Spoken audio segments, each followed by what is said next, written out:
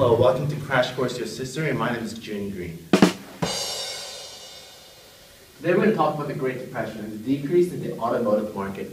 After the stock market crash in 1929, Americans didn't have enough money, they didn't have enough funds to buy the goods the automobile industries had. The demand was so low, although the supply was really high. Although Ford had enough Model A's, Model T's to hand out uh, to the consumers, the consumers didn't want them because they didn't have enough money to buy them. And also, the circulation of currency, the circulation of money in the United States was very low. Not many people started to spend. They all saved up their money because they couldn't trust each. They couldn't trust the bank. They couldn't trust each other. So the money was remained in, uh, the money remained intact. It didn't go anywhere. So the, since the circulation of currency, the circulation of money decreased, the spending and the buying, the consumerism also decreased. So this was the big uh, cause to the crisis in the automobile industries.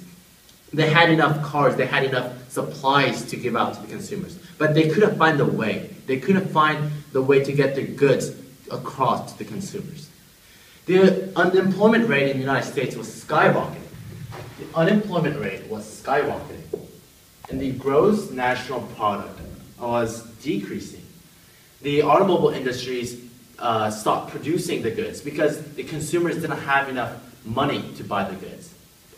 In the GNP in 1929 was 100.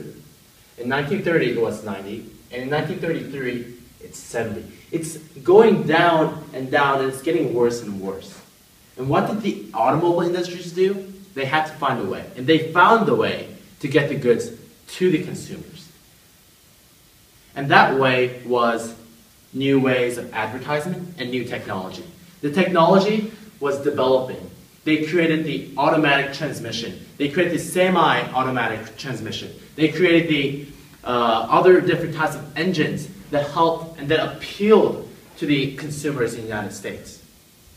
So when the consumers saw these new ideas, when they saw the new technology, when they saw the new innovation, the consumers, Americans, decided to buy more cars, decided to buy the goods because they thought it was necessary, they thought it was appealing.